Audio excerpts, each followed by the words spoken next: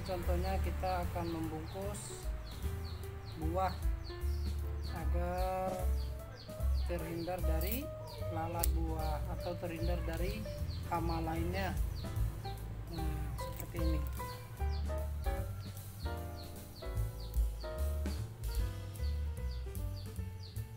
Jadi aktivitas kita banyak sekali teman-teman. Kalau berkebun ini merawat buah ya. Yuk kita lihat yang lain mungkin ada buah yang perlu kita bungkus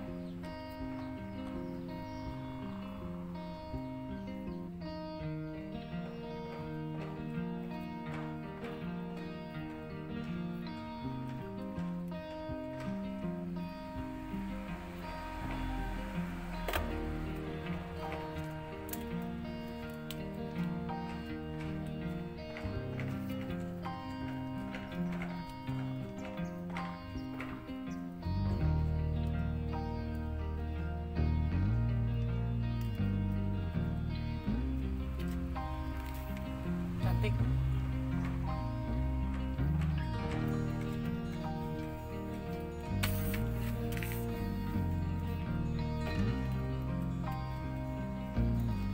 Ada lagi yang berbuah ya teman-teman ya. Jadi saya kasih tahu teman-teman ya bahwasanya menanam pohon ini cukup menyenangkan sekali tanam atau tempat untuk menanam pohon tin bisa dilakukan di ember juga. Nah, ini contohnya ya yang sudah berbuah tapi belum matang ini. Kita menunggu sampai buahnya betul-betul matang. Kita akan bungkus agar buahnya nanti terhindar dari atau lalat buah lainnya. Jadi teman-teman demikianlah review kali ini. Aktivitas saya kali ini. Jangan lupa ikuti video selanjutnya. Jangan lupa ya teman-teman ya. Bye bye